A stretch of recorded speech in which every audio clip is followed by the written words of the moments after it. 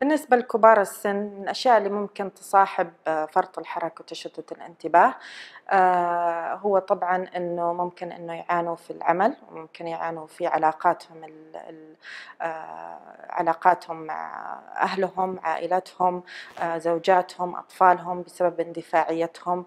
بسبب عدم تفكيرهم وأيضا إذا لم يشخص هذا الشخص من الطفولة فممكن أيضا يترتب عليه خبرات سيئة فبالتالي يصبح إنسان معادي للمجتمع بسبب ردود فعل الآخرين اتجاه آه، فرط الحركة أو تشتت الانتباه لديه.